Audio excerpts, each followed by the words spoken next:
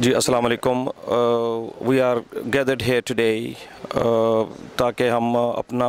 एहतजाज जो है वो मजम्मती एहतजाज हम रिकॉर्ड करवा सकें। हम यहाँ पे इकट्ठे हो के जो पाकिस्तान गवर्नमेंट ने, जो एक पंजाब पुलिस ने जो मुकम्मल तौर पर एक दहशत गर्दाना कार्रवाई की है, जिसमें उन्होंने औरतों को और बच्चों को और बूढ़ों को एक तशद करके एक मारा है और गोलियों से उन्हें लहू लुहान किया है और डंडों से मारा है। तो ये हम इसका उनको सीधी गोलियाँ मारी गई हैं। तो ये हम यहाँ पे इकट्ठे हुए हैं और इन ये हजूर शेख़ुलस्लाम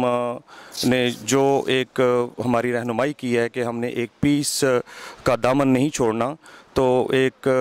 हम यहाँ पे एक पुरान एहतजाज जो रिकॉर्ड करवा रहे हैं और इसमें